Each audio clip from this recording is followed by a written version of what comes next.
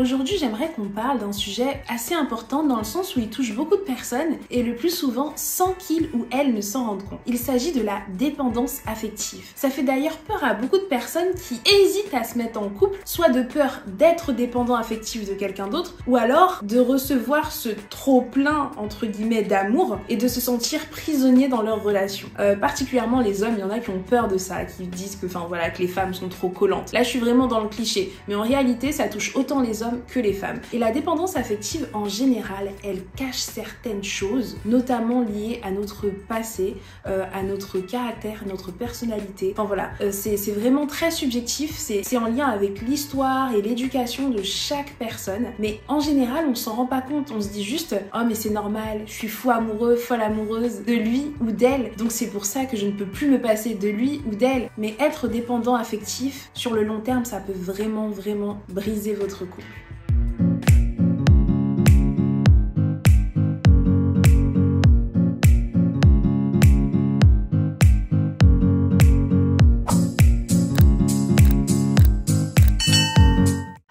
Cette vidéo, je vais vraiment vous expliquer brièvement en trois étapes comment faire pour ne plus être dépendant affectif et que justement votre relation redevienne ou devienne une relation amoureuse saine. Parce que si vous êtes dans la dépendance affective, votre relation actuellement, elle n'est pas saine. Je tiens à préciser que ici je suis brève, mais que j'ai écrit un livre qui s'appelle 5 astuces pour garder son homme. Et dans ce livre, j'ai tout un chapitre dédié à la dépendance affective où j'explique comment faire pour en sortir ou comment faire pour éviter de finir dépendant affectif. Alors la première étape pour sortir de ce cercle vicieux, c'est d'essayer de comprendre pourquoi. D'où vient ce phénomène? Pourquoi je suis comme ça? J'arrive plus à m'empêcher d'être avec elle, je pense qu'à elle, j'ai l'impression que sans elle, je vais mourir. Pourquoi je m'attache si vite? Qu'est-ce qui cloche chez moi? Cette personne, je viens de la rencontrer et pourquoi d'un coup j'ai l'impression que c'est toute ma vie? Que si il ou elle s'en va, je vais tout perdre, que je serai anéanti, limite dépressif. C'est pas normal de ressentir tout ça. Vous allez me dire mais Jacqueline, c'est l'amour, je suis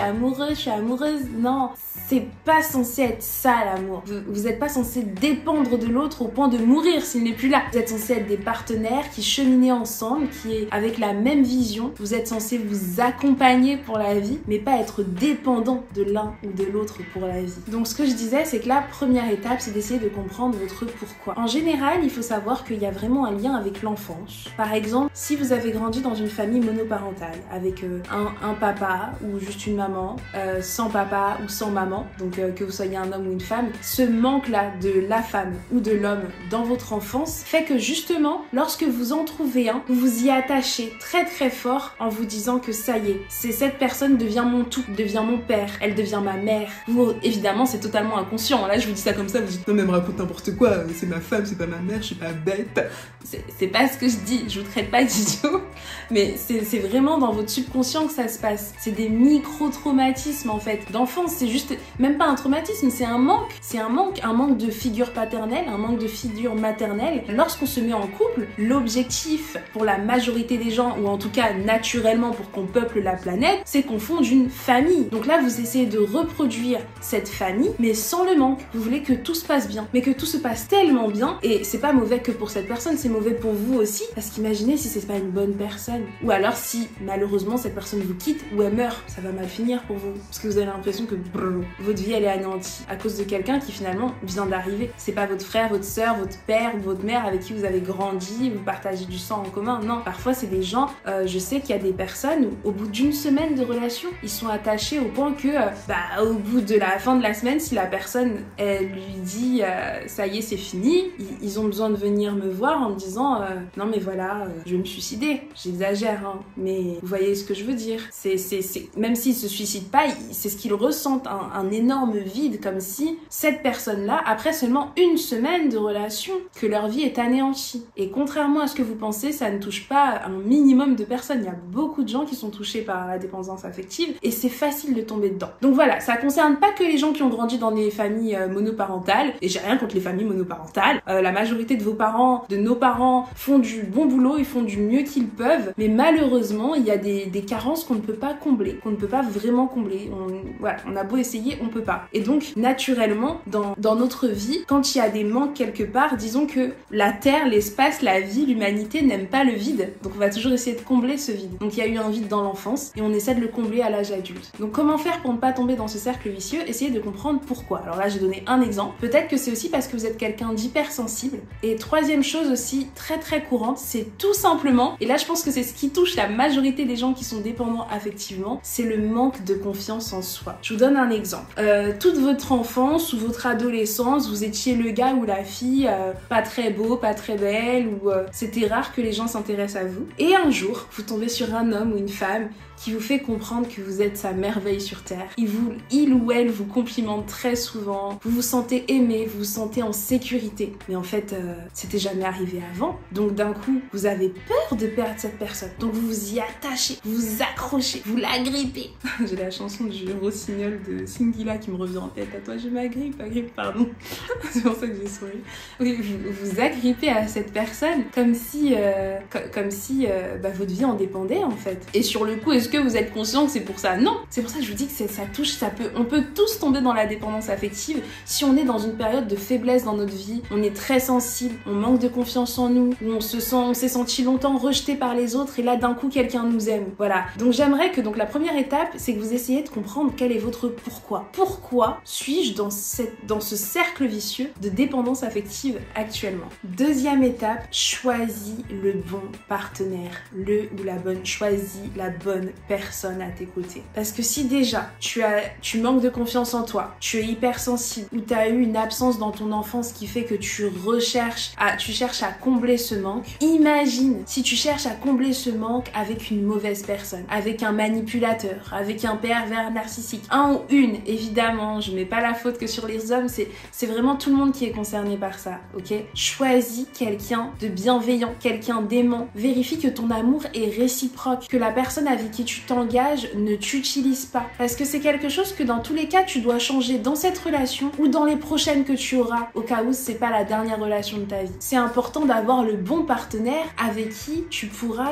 t'améliorer. Choisis quelqu'un qui veut ton bien, quelqu'un qui n'est pas égoïste. C'est pas avec tout le monde qu'on peut s'améliorer dans la vie. Il y a des personnes malheureusement qui nous tirent vers le bas. Donc c'est que l'amour rend aveugle, mais je sais pas, mets des lunettes, fais quelque chose, réveille-toi, ouvre les yeux pour être sûr que tu ne te fais pas manipuler, que tu es avec quelqu'un réellement et que c'est pas toi qui t'accroches à une personne qui en fait est mauvaise pour toi juste parce que tu as peur d'être seul. Étape numéro 3. Maintenant que tu es sûr d'être avec la personne idéale pour améliorer ta vie et retrouver la confiance en toi, et bien justement, apprends à t'aimer. Apprends à t'aimer seul d'abord pour pouvoir mieux être aimé par les autres. Fais en sorte de te souvenir que avant que cette personne entre dans ta vie, tu étais déjà quelqu'un, un être humain qui vaut quelque chose. Tu as de la valeur, tu as des qualités et des défauts, mais beaucoup de qualités, j'en suis sûre. Et si toi-même t'en es pas conscient, et ben demande aux gens autour de toi ce qu'ils aiment chez toi, pourquoi ils continuent à te côtoyer au quotidien, et fais la liste de tes qualités et de tes défauts. Et tu verras, t'as plus de qualités que de défauts, mais tu t'en rends pas compte. On est souvent plus méchant avec nous-mêmes qu'on ne l'est envers les autres. Donc à partir d'aujourd'hui, concentre-toi sur le fait d'essayer de t'aimer seul, toi-même, de t'aimer d'abord toi-même, d'être heureux en étant seul, pour pouvoir être plus heureux encore quand tu seras avec les autres. Ce qui fait qu'en fait, lorsque quelqu'un viendra vers toi, c'est parce que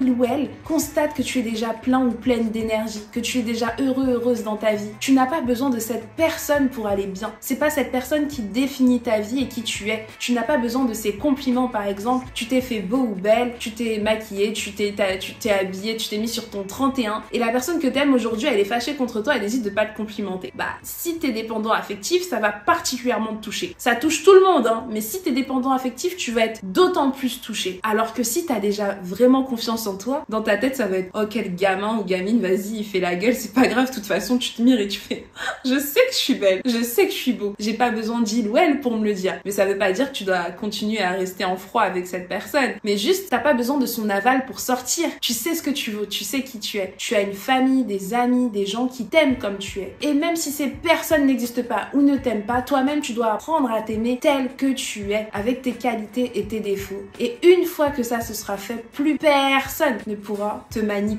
Soyons crus, soyons concrets. Les personnes les plus manipulables et les plus influençables, ce sont les personnes qui sont faibles d'esprit au moment où ça leur arrive. Parce que tu peux être très fort d'esprit pendant un moment de ta vie et là, tu es dans une période où vraiment ça va pas. T'as plus confiance en toi parce qu'au travail, on te rabaisse, tes projets ils fonctionnent pas, parce que t'as pris du poids, t'aimes plus ton corps. Et là, un manipulateur ou une manipulatrice entre dans ta vie, te fait croire que t'es un rayon de soleil, que t'es parfait, et c'est ce que t'as besoin d'entendre, alors t'y crois. Et ensuite, cette personne, d'un coup, elle change, tu sais pas pourquoi, elle te fait du chantage, elle t'isole de ta famille, de tes amis, et parce que, à la base, c'était pour toi une bonne personne, tu vas continuer à l'écouter, même quand tu vas trouver bizarre les choses qu'elle commence à te dire aujourd'hui, et que tu sens que c'est paradoxal par rapport à ce que il ou elle te disait avant. Pourquoi? Parce que tu es dans un état de faiblesse, tu manques de confiance en toi, tu es hypersensible ou tu ressens un manque que tu veux combler. Donc ma conclusion c'est aime-toi d'abord et tout le monde t'aimera après. Et puis d'abord, est-ce que t'as besoin que le monde entier t'aime pour être heureux? T'as besoin que des gens qui sont mauvais t'aiment aussi? Non. Ce qui compte parfois c'est la qualité, pas la quantité. Avoir un ou une seule bonne amie pour toute la vie vaut plus que 10 amis qui te critiquent, parlent derrière ton dos ou sont là pour ton argent ou autre chose et qui t'aiment pas vraiment. Et ben c'est la même chose en amour. Donc 1. Essaie de comprendre pourquoi tu es dépendant affectif. C'est dû à quoi? À ton enfant à ton caractère. 2. Choisis le bon partenaire pour évoluer. Pour ton développement personnel, fais en sorte d'être accompagné de personnes bienveillantes. Et 3. Reprends confiance en toi et surtout, sors de ta zone de confort. Ça veut dire quoi? Ça veut dire que si tu as remarqué que tu peux plus vivre sans la personne avec qui tu vis aujourd'hui, tu es amoureux, amoureuse, ton partenaire, ton conjoint, ta conjoint, et eh bien fais en sorte de t'éloigner peu à peu de lui ou de elle de temps en temps. Minimum une fois par mois, essaie de faire une sortie avec tes amis, que ça soit euh, juste pendant deux heures, commence par ça, après pendant un week-end ou plus tard pendant une semaine. Mais petit à petit, commence juste par faire une activité en dehors de ton travail, je précise, en dehors de tes enfants, je précise, un truc à toi seul, chaque semaine qui t'appartient, c'est ton moment à toi. Le mieux, ce que moi je te conseille, c'est d'aller dans un spa, de te faire masser, manicurer, tout ce que tu veux, mais un temps pour toi où t'es isolé du monde et que en ressortant de là, tu ta peau est douce, t'es bien parce qu'on t'a massé, tu te sens beau ou belle, c'était ton moment à toi. Tu vois ce que je veux dire? Alors trouve du temps pour toi, sors de ta zone de confort, sors de ta routine, pense à toi et fais tout pour t'aimer assez pour que les autres ne soient que des compléments, mais ne soient jamais des indispensables à ta vie. Voilà, ce sera tout pour aujourd'hui. J'espère que cette vidéo t'aura été utile. Si c'est le cas, mets un j'aime pour qu'elle remonte dans l'algorithme de YouTube et soit visible par un plus grand nombre de personnes. J'espère que tu mettras un commentaire pour me dire si tu t'es déjà retrouvé dans cette situation ou non, Comment as-tu fait pour t'en sortir? As-tu utilisé une des étapes dont j'ai parlé? Ou une autre méthode? Si tu as d'autres méthodes, n'hésite surtout pas à les partager avec la communauté des lovers conscients parce qu'ici, on est généreux et bienveillant. Évidemment, si ce n'est pas déjà fait, je t'invite à activer la cloche de notification pour être au courant de mes prochaines vidéos parce que je du principe que tu es déjà abonné. Si c'est pas le cas, c'est grave. À bientôt mes lovers conscients.